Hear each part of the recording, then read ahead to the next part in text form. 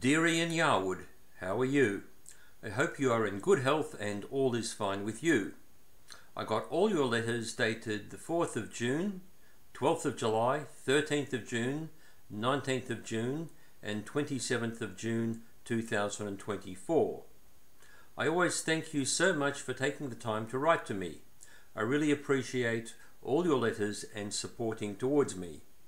I was very pleased to see the moon and the planets and the stars in which you sent them on your email. What a sad news to learn that an astronaut named William A. Anders passed away last week on the 7th of June 2024. Yeah, it was a big coincidence that you sent me the picture of Earthrise by email just two days earlier on the 5th of June 2024. Next Sunday, I will go to the church and pray for him and ask God to bring him into the heaven near the moon as he had been to the moon. I hope my prayer will work for him to be an angel in the heaven.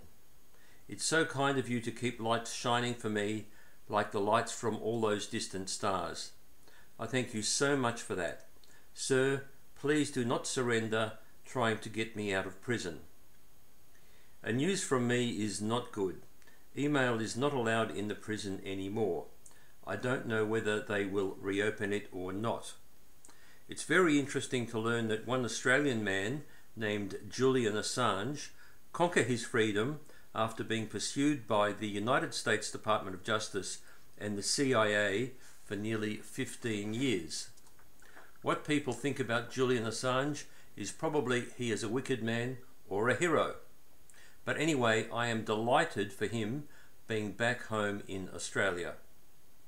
A few weeks ago, the authority of Bang Kwang Central Prison took a blood test to find out diabetic.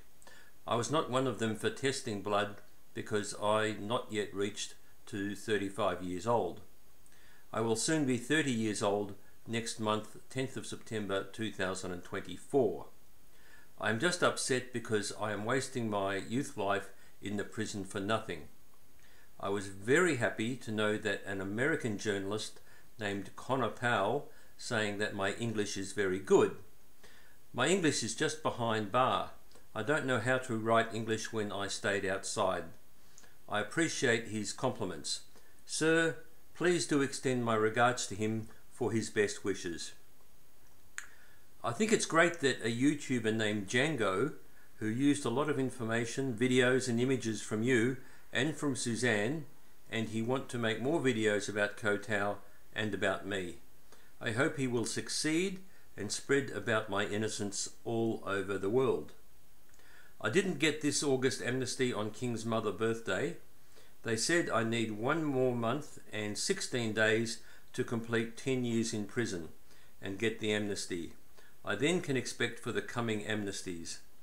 I think the Thai government is playing a game with my life to keep me in prison for a long time or to end my life in prison.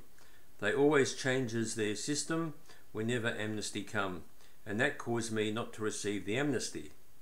I am very disappointed over the amnesty coming to prisoners but I am not the person who easily give up his life.